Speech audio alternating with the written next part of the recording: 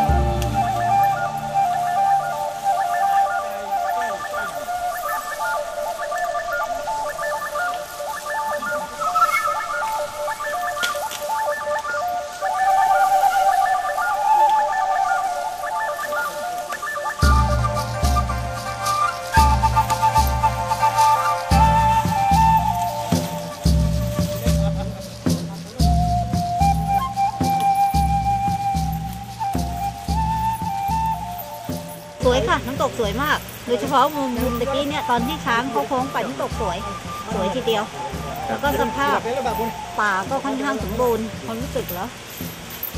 จริงๆแล้วคือตัวเองคนที่ทำกิจกรรมตรงนี้บ่อยมาก แต่ก็ค่อนข้างประทับใจ เพราะว่าดูแล้วว่าเจ้าหน้าที่ป่าไม้ค่อนข้างที่จะให้ความร่วมมือแล้วก็เหมือนกับเขาเต็มใจที่จะช่วยกันแก้ปัญหาตรงจุดเนี้ยในเรื่องในเรื่องของของมวลชนสัมพันธ์ ในเรื่องของการลุกป่าในเรื่องของอะไรพวกนี้ค่ะ ก็อยากให้ทุกคนมาเที่ยวกันที่จุดนี้เพราะธรรมชาติจะค่อนข้างสมบูรณ์แล้วก็ไม่ไกลจากกรุงเทพมากนัก แล้วก็มีธรรมชาติที่เที่ยวค่อนข้างหลากหลาย ป่า ดอกไม้ แล้วก็น้ำตกอะไรนี้ค่ะกิจกรรมที่นี่เยอะค่ะอะไรที่เที่ยวได้ทั้งปีสำหรับที่นี่ติดจักรยานเสือภูเขาก็ได้ ครับผมในนามตัวแทนของนักท่องเที่ยวเนี่ยรู้สึกยังไงบ้างครับที่มาเที่ยวที่เนี่ยครับ รู้สึกประทับใจนะครับ เพราะว่ามันเป็นที่ที่ที่ยังดิบอยู่อ่าในเวลาผมคิดว่านักท่องเที่ยวคนที่ชอบธรรมชาติที่ว่าคือเขาเรียกว่ายังไม่เสื่อมโทรมยังมีสภาพเสื่อมโทรมคือแล้วก็ใหม่ด้วยน่าน่าลองมาพิสูจน์ดูนะครับครับรู้สึกรู้สึกประทับใจอะครับครับอยากจะแนะนำอะไรสักหน่อยไหมครับที่เมื่อสักครู่ที่ผมได้ไปที่ถ้ำถ้ำเสือนะครับถ้ำเสือเนี่ยถ้าอ่าถ้าอาจจะมีพวกชมรมจักรยานพวกเสือภูเขาเนี่ยฮะ ถ้าขี่เข้าไปนี่มันจะได้บรรยากาศมากเลยสำหรับคนที่ชอบจักรยานนะครับ ผมก็ขอเชิญชวนเลยนะครับ คนที่มีจักรยานเสือภูเขานะครับอ่ารวมตัวกันแล้วก็ได้ติดต่อมาได้เลยผ่านผ่านรายการเนี้ครับได้เลยครับผมผมผมว่าหน้ามาหน้ามาพิสูจน์นะครับ หน้าหน้าไปหน้าไปร่มรื่นแล้วก็ท้าทายด้วยครับไปเยี่ยมครั้งนี้ต้องกดไลค์ให้เลยนะครับ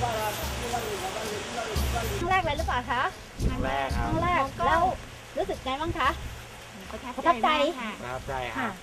อ่าประทับใจตรงธรรมชาติถ้สวย ถ้ำ ถ้ำำถ้ำสวยมาก ธรรมชาติสวยธรรมชาติสวยสวย ได้ขี่ช้างด้วย ได้ขี่ช้างด้วยมีขี่ช้างด้วย แล้วก็